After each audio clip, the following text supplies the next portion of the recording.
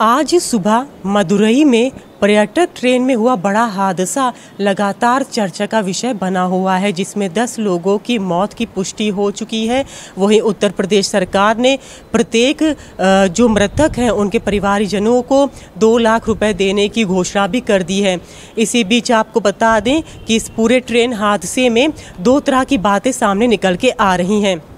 एक तो ये सबसे बड़ा सवाल खड़ा हो गया है कि आखिर ट्रेन के अंदर यात्री सिलेंडर कैसे लेकर पहुँचे? क्योंकि जब हर जगह पे जाँच होती है और किसी भी तरह का जो ज्वलनशील पदार्थ होते हैं, उनको अंदर लेके जाना सख्त मना होता है तो ऐसे में ट्रेन के अंदर आखिर सिलेंडर कैसे पहुँचा?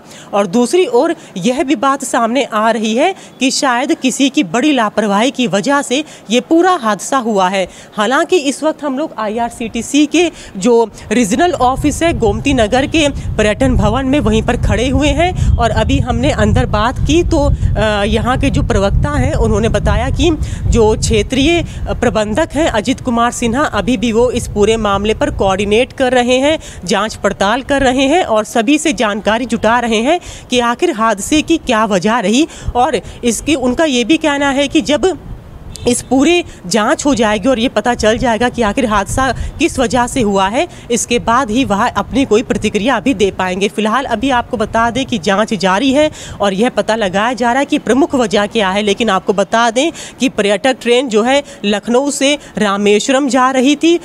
इसमें श्रद्धालु थे, इसमें श्रद्धालु सफ़र कर रहे थे, लेकिन दस लोगों की मौत होना एक बड़ा आंकड़ा है और हेल्पलाइन नंबर भी जारी कर दिया गया है। लोग अपने परिवारीजनों को खोजने के लिए हेल्पलाइन नंबर पे भी लगातार कॉल कर रहे हैं।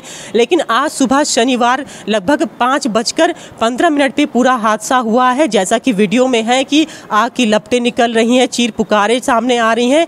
तो ये ट्रेन का एक बड़ा हादसा है। हालाँकि इसमें जाँच पड़ताल चल रही है। आईआरसीटीसी भी इसमें जाँच कर रहा है और यकीनन जब जाँच का पूरा ये साफ़ हो जाएगा कि आखिर लापरवाही कैसे थी और किस वजह से पूरा हादसा हुआ है, उसके बाद इस पर एक नया मोड़ भी सामने आ सकता है। तब तक ले जुड़े मेरे साथ। मैं लखनऊ से अंजलि सिंह राजपूत न्यूज़ एटीन।